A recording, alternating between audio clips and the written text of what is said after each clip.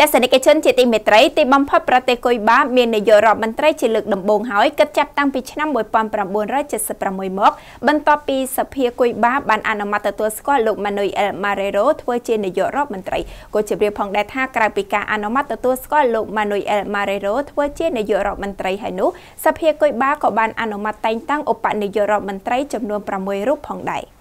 នាថ្ងៃសៅរ៍ចុងសប្តាហ៍នេះពេលវេលាក្នុងតំបន់សភាគុយបាបបានអនុម័តទទួលស្គាល់លោក Manuel Marrero Cruz ដែលកន្លងមកជារដ្ឋមន្ត្រីទេសចរគុយបាឲ្យកាន់តំណែងជានាយករដ្ឋមន្ត្រីរបស់ប្រទេសដីកោះនៃតំបន់ការីបៀនមួយនេះនេះបើតាមការដកស្រង់កាប់ផ្សាយចេញពីសារព័ត៌មាន Sputnik នៅរុស្ស៊ីថ្ងៃអាទិត្យទី22ខែធ្នូឆ្នាំ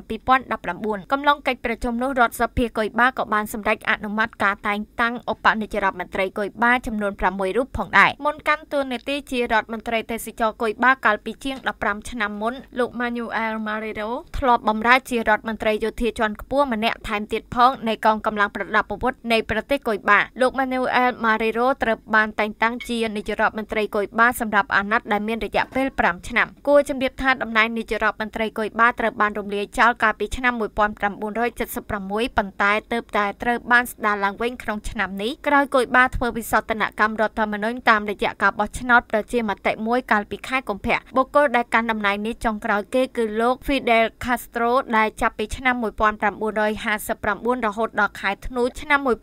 1976ជាពេលដែលឈ្មោះនៃតំណែងនេះត្រូវបានកែប្រែទៅជាប្រធានគណៈរដ្ឋមន្ត្រីវិញយ៉ាងណាមិញចាប់ពីពេលនេះទៅប្រទេសកុយបាមានតំណែងប្រធានាធិបតីព្រមទាំងនាយករដ្ឋមន្ត្រីដោយកាលប៉ុន្មានទសវត្សរ៍មុនវិញហើយបច្ចុប្បន្នប្រធានាធិបតីកុយបាគឺលោក Miguel Diaz-Canel នាយករដ្ឋមន្ត្រីមានតួនាទីគ្រប់គ្រងចាត់ចែងការងាររបស់រដ្ឋាភិបាលគុយបាប៉ុន្តែស្ថិតក្រោមការត្រួតពិនិត្យរបស់ប្រធានាធិបតី